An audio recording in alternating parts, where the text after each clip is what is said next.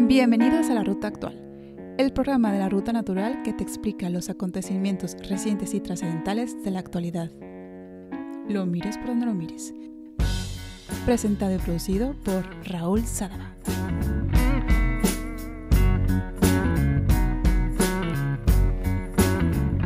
Hay un evento, una fecha histórica que da forma a la China que conocemos hoy y nos ayuda a entender algunas de las cuestiones políticas y diplomáticas que surgen pues actualmente en China, en la China República, en la República China Popular y también en ciertas potencias occidentales. Se trata de las guerras del opio. Un conflicto que estalló en 1839 y que aún resuena como un eco lejano en la mente de algunas arengas políticas de líderes chinos. Si bien el opio se ha conocido como una medicina, una medicina milenaria para calmar el dolor, apaciguar el estrés e incluso para ayudar a conciliar el sueño, también fue el casus bellis de un conflicto que enfrentó algunas potencias europeas con China y que despertaría la aversión a lo extranjero y más tarde la ansia de venganza. En China la guerra del opio, y más tarde su consecuencia directa, que fue la guerra de los boxers, supuso un acontecimiento ignominioso, una afrenta dirigida por un tratado, un tratado desigual, que caló profundamente en la opinión pública y los medios del imperio chino. Sin meternos en detalles, a, brochazos gordos, el conflicto estalló cuando China decidió poner fin a las importaciones del opio del imperio británico, que, que realizaba a través de la India. China veía cómo el opio dejaba millones de adictos en el país millones de chinos que enganchados a una droga que los británicos exportaban a diestro y siniestro y que los transformaba a muchos de ellos en pellejos humanos. Para los británicos era fundamental. Tras perder el comercio del té con las Américas, ellos precisaban del té chino para, para pagar sus facturas. De las ventas hacia. de las ventas del té hacia China para pagar sus facturas. Así que se vende opio a cambio de té. Con el volumen del té vendido en Europa, tan solo el vendido en Europa, el Imperio Británico conseguía fondos para poder mantener el presupuesto de su valiosa armada. Pero. Pero muchos, para los británicos, la venta del opio y por extensión del té, pagaba la revolución industrial. Es que era un bien sumamente estratégico. Hubo dos guerras del opio, se firmaron tratados desiguales, lo que aumentó el sentimiento de vergüenza y el sentimiento de odio contra lo extranjero, lo que finalmente dio pie a la guerra de los boxers. Los, los boxeadores, es como los ingleses, por cierto, llamaban a los guerreros chinos durante el conflicto, ya que muchos de ellos pues conocían y, y bueno, se, se servían de las artes marciales, lo que para los británicos era sencillamente boxeo chino. Es decir, que en el siglo, en el siglo XIX las potencias del imperio, bueno, los diferentes imperios, el imperio alemán, está Francia, el imperio británico, incluso Portugal, estadounidenses estaban por ahí metidos, astrohúngaros, el imperio japonés, todos ellos se repartieron pedacitos de China como si fuera un suculento pastel. Y China no olvidó. Tal y como, como extraigo de las propias palabras de, de Xi Jinping, el presidente chino, venía a decir hace bien poquito algo así como hemos borrado la humillación nacional y los chinos ya son los dueños de su destino. La nación china se ha afirmado, se ha enriquecido y se está fortaleciendo. El gran renacimiento de la nación china ha iniciado un proceso histórico irreversible. Un guiño histórico que también tiene que ver mucho con la unión de China con Taiwán.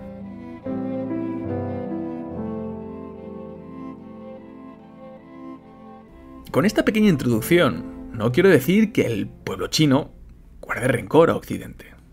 La gente hace sus vidas normales sin pensar en estos asuntos. La gente tiene cosas más importantes que hacer. Además de que el ciudadano de la República Popular China puede ser tan maravillosa persona como cualquier otro ciudadano de cualquier otro país. Aunque luego hay ciertos eventos históricos que quedan en la retina del pueblo. Por ejemplo, yo tengo un amigo, un amigo francés. Y hace años estaba a punto de comenzar el Mundial, el Mundial de Fútbol, y me preguntó quién desearía que ganara. Y yo pensé, evidentemente, pues que España. Pero puestos a elegir otro país, me puse a pensar en un país, en, algo más novedoso, y respondí, ¿por qué no Inglaterra? Inglaterra, ¿por qué no? Hace mucho que no gana un mundial, desde el 66 concretamente, y sería mira, sería una sorpresa. Así cambiamos de los típicos sospechosos habituales. A lo cual mi amigo me respondió, bueno, mm, como entenderás, yo como francés no puedo desear jamás que Inglaterra gane un mundial. Y fue una anécdota que, que me hizo gracia. Algo parecido ocurre con los partidos entre Irlanda contra Inglaterra. ¿Tú te pones a ver un partido de fútbol, Irlanda-Inglaterra, en un pub irlandés, lleno de irlandeses, y se hace el silencio sepulcral, sepulcral cuando suena el God Save the Queen, el God Save the Queen, The King ahora, el rey, antes, cuando suena antes del partido. Es que merece, ver, merece la pena ver las caras de los hinchas irlandeses, no hay que perdérselo. Pues entre China y Estados Unidos es diferente. La comparación con la Guerra Fría y con el conflicto diplomático y geoestratégico que enfrenta la antigua URSS y los Estados Unidos y sus respectivos bloques pueden parecer similares, pero tienen diferencias. En realidad, si bien es cierto que el enfrentamiento entre bloques y potencias mundiales como Estados Unidos y China es desde luego preocupante y crea una incertidumbre en el planeta nada deseada. La paz parece que cuelga de un hilo, y uno tiene la impresión de que cualquier tontería, cualquier menudez, puede transformarse en un casus bellis.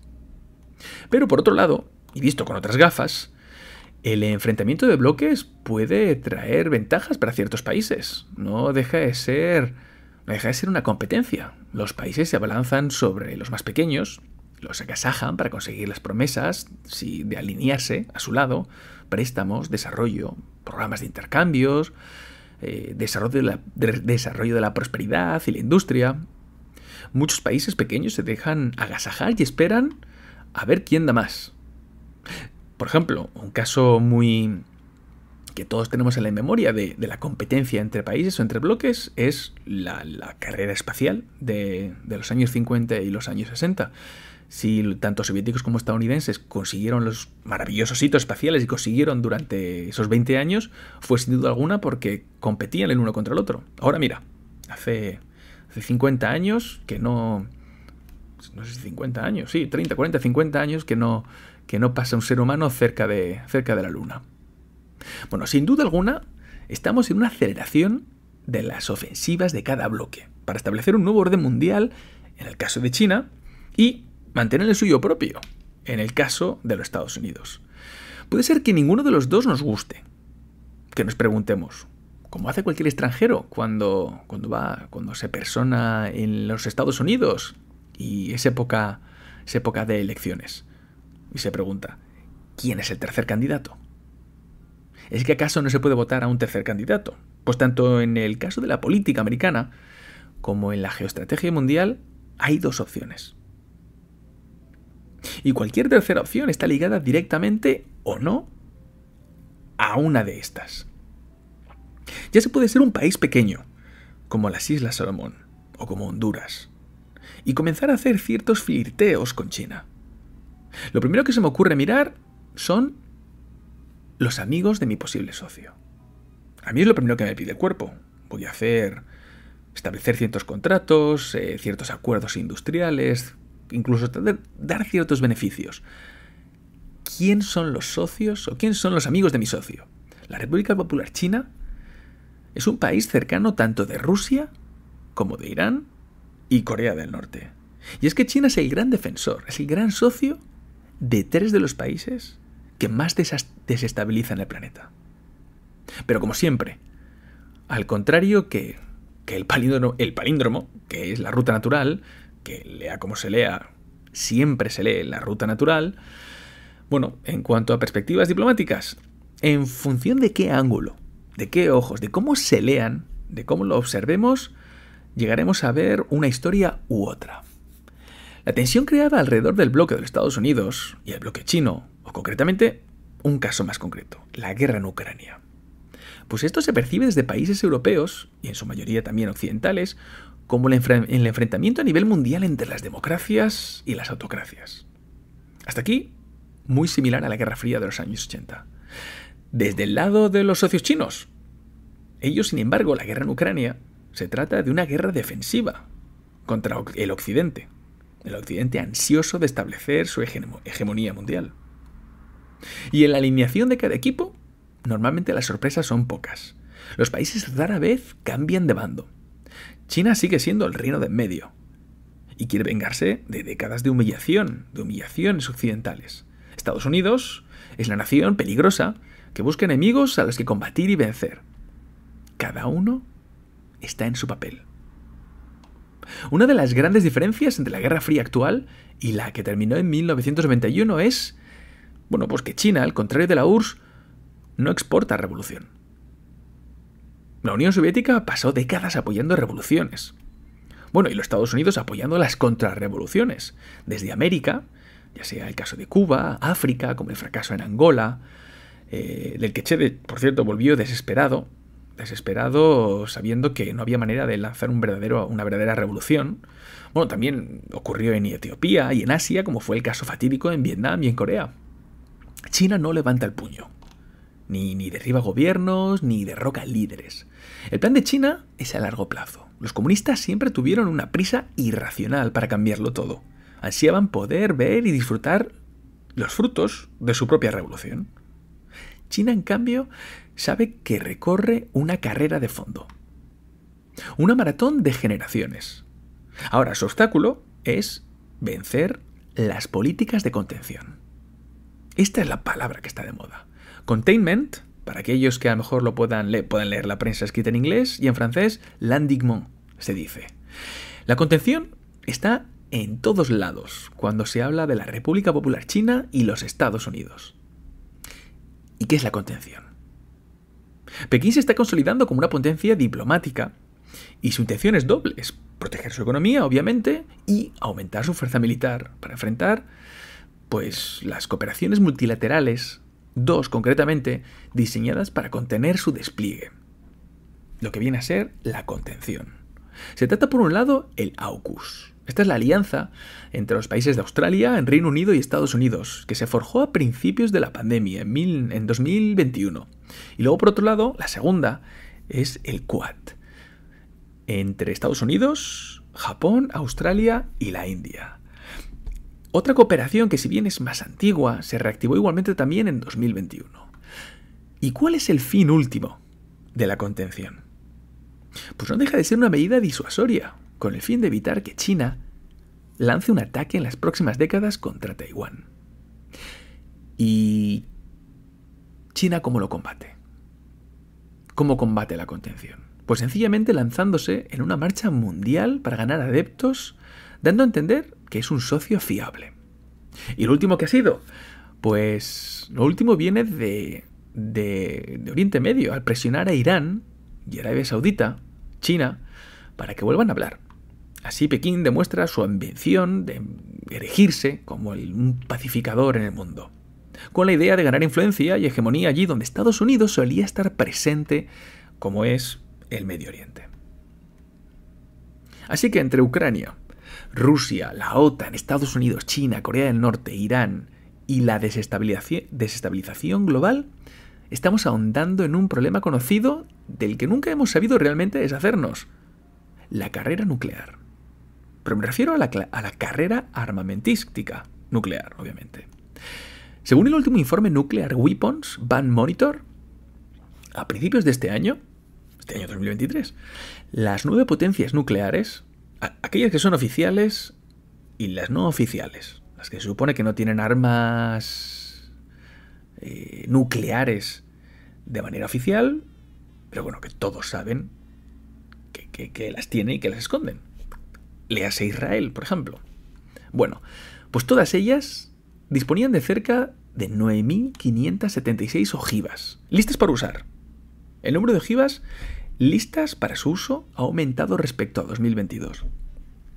Y además de estas 9.000, hay otras 3.000 ojivas que están funcionando pero a la espera de desmantelamiento.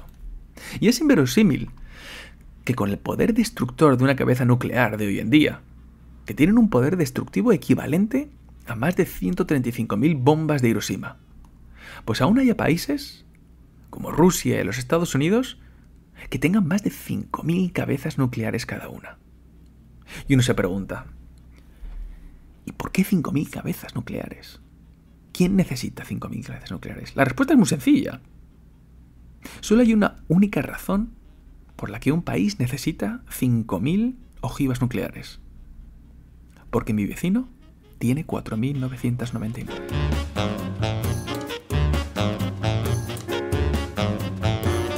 La contención es muchas cosas. La contención son pequeños actos diplomáticos, son ciertos eventos, decisiones, actividades, con el fin de dejar un poco más de lado a la República China Popular, o evitar que tenga éxito en su diplomacia, conseguir que fracase en su rol de hegemonía mundial.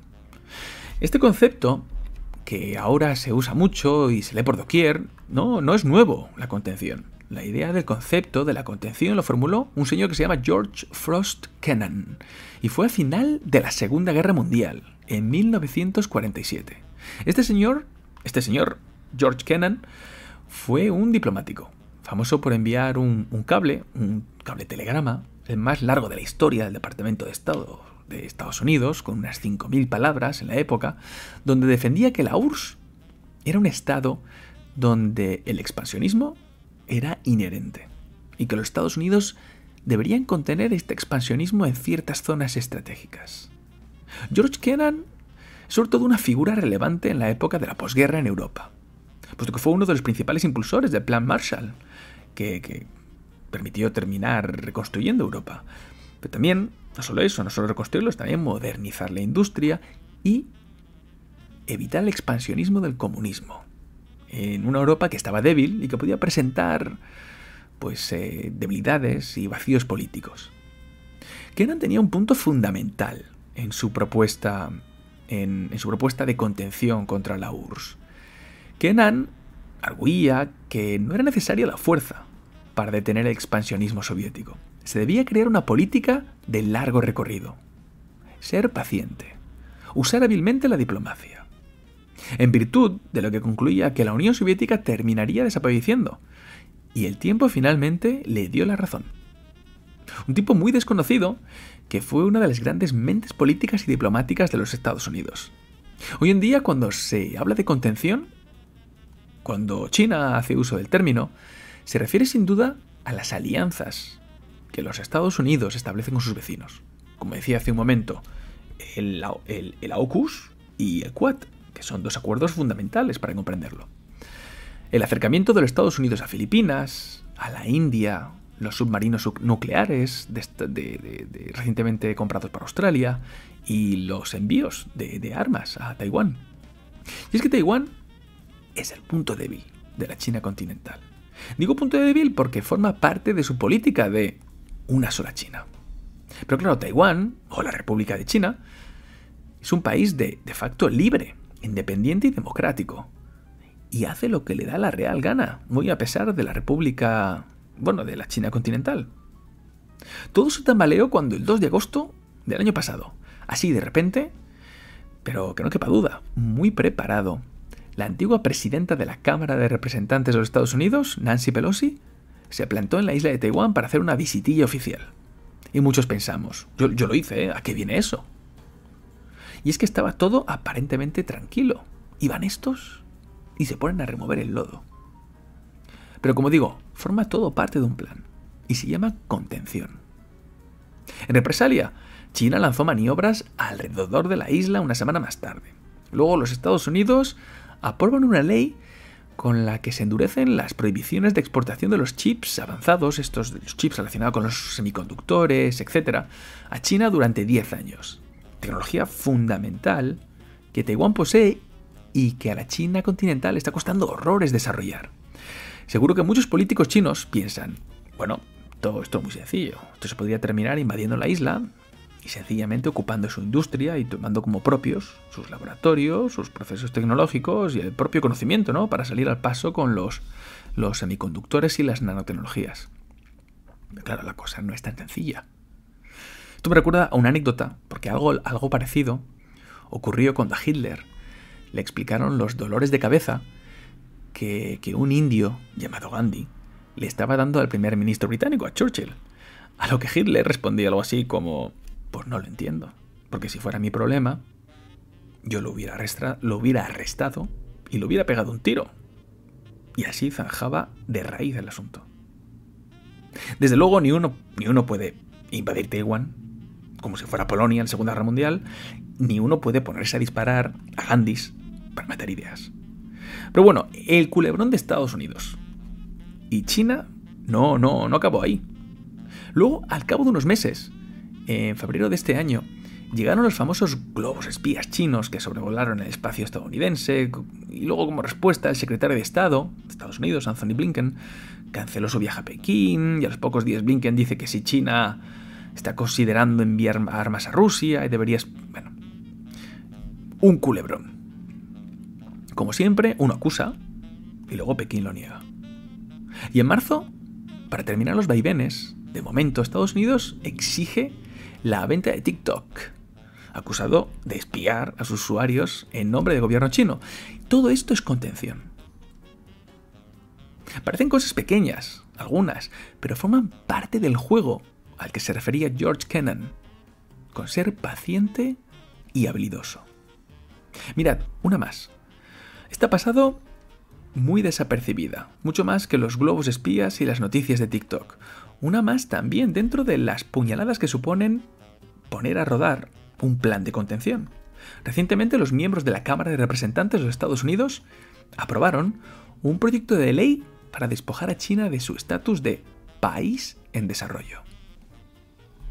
Claro, si llevas a cabo una campaña donde exacerbas lo bueno que eres y lo genial que te va todo, como es en China, bueno, pues eh, estás promoviendo una cultura de modernidad, de riqueza, de longevidad, industrialización, liderazgo en la, en la inteligencia artificial, pues finalmente logras que el mundo se lo crea. Y el mundo crea que ya no eres un país desarrollado. Es sin duda el precio a, el precio de pagar por ir, de fanfarrón por la vida. Y alguno dirá, oye, ¿y, y, y qué más da, no? ¿Qué más da una designación, una, una definición que otra? La cosa no cambia, ¿no? China sigue siendo China. Pero en realidad sí. Porque hay muchos matices en las definiciones legales y jurídicas. La intención fundamental de Estados Unidos es evitar que China reciba un trato preferencial debido a su estatus de país en desarrollo. Y todo esto en el seno de las organizaciones internacionales.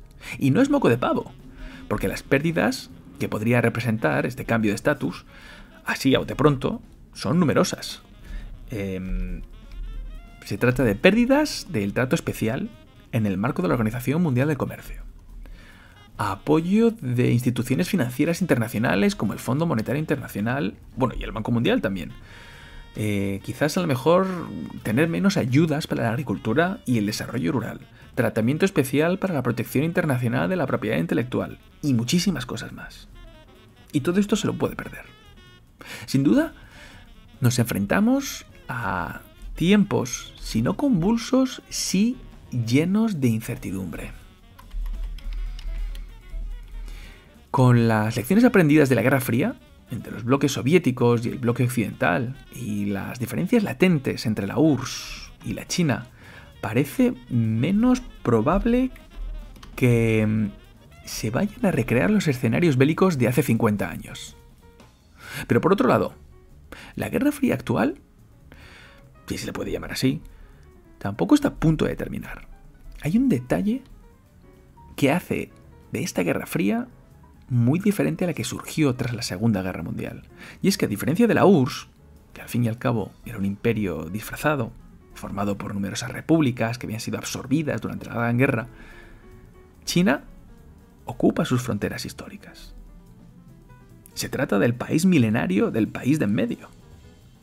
Y esto significa que un final, como el del periodo de 1989 a 1991, con el desmembramiento de, de Rusia en otras 15 repúblicas, es muy poco probable.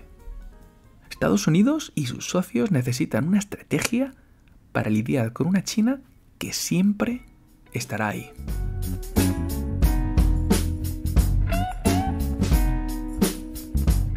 Y esto ha sido todo por hoy. Sinceramente espero que hayáis disfrutado de este nuevo episodio de La Ruta Actual, un programa de la Ruta Natural. Muchas gracias una vez más por vuestro tiempo escuchando este audio que analiza temas de actualidad de manera honesta, lo mires por donde lo mires. Disfrutad ahora del apunte artístico que nos ofrece el ilustrador de la Ruta Natural, Fer Monigote sin Fronteras, un dibujo especial para cada programa. Lo podéis encontrar a través de mi página web de Linktree, en el vídeo de YouTube, en mi Instagram, arroba larutanatural.podcast y en la sección de comunidad de iVoox. Si os ha gustado este programa, podéis invitarme a un café a través de mi cuenta de coffee.com o haceros mecenas en patreon.com. Nos vemos próximamente. Mientras tanto, os espero aquí detrás del micro. Hasta pronto.